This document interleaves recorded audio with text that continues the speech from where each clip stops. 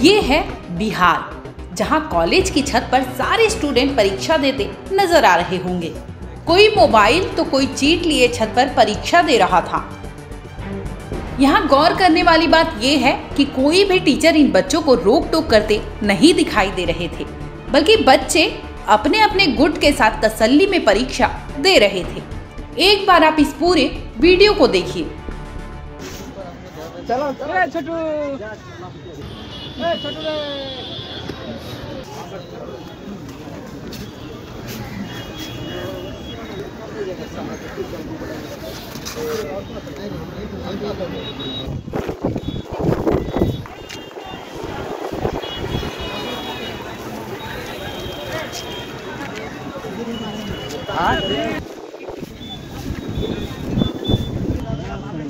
छोटू रे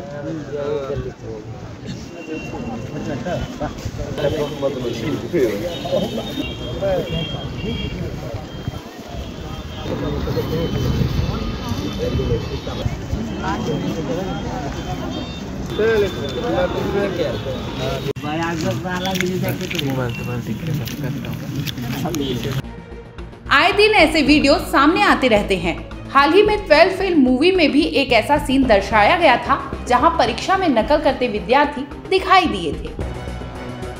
लेकिन सोचने वाली बात है कि आज के समय में भी बच्चों को अगर नकल करने की ज़रूरत पड़ रही है तो इन बच्चों का भविष्य क्या होगा? तिलका मांझी भागलपुर कॉलेज के ललित नारायण भोकर झा महिला कॉलेज भ्रमरपुर में स्नातक सेमेस्टर वन की परीक्षा के दौरान स्टूडेंट ने खुले मैदान और छत पर दरी पर बैठकर परीक्षाएँ दी।